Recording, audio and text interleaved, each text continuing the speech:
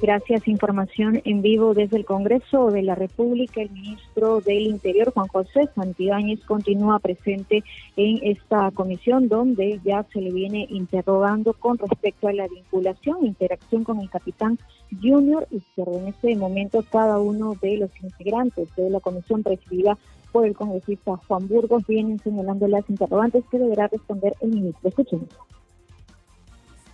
Al, al hablar que tenemos que pedir permiso al tren de Aragua porque creo que le ha incomodado las preguntas que he hecho, eso sería mi, mi malestar, pero bueno, como ya he aprendido a manejar mis emociones, le pido por intermedio de usted, presidente, que retire la palabra. Si se ha sentido ofendido por las preguntas que he realizado.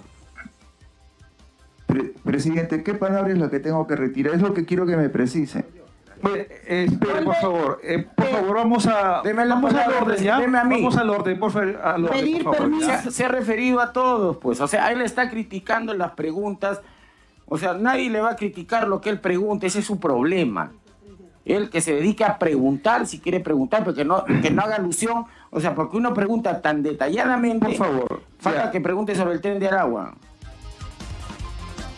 Bien, hasta el momento el, ministro del Interior, desde que llegó a la comisión, no ha respondido nada de lo que ya ha señalado anteriormente durante su participación el capitán Junior Izquierdo por ellos. En estos momentos se vienen acumulando las interrogantes que han quedado pendientes con respecto a estos audios difundidos donde el, ministro pues se le habría adjudicado eh, subir a este ministerio para realizar ciertas funciones como desactivar la villa y además acerca de la vinculación del vehículo presidencial en la fuga del prófugo Vladimir Cerrón. Información para Exitosa Lima 95.5, la voz integral Perú.